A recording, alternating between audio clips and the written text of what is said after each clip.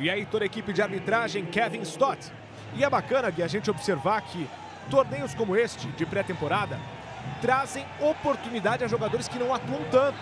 Tudo pronto! É hora do show! É hora de Arsenal e Bayern de Munique! O Aubameyang furou o zagueiro, cruzamento!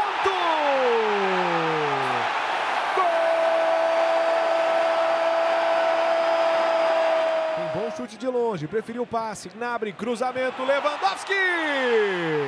Gol! Sobra do Arsenal, a tabela dentro da área, o chute cruzado! Olha ele aí! Olha ele aí! Gol!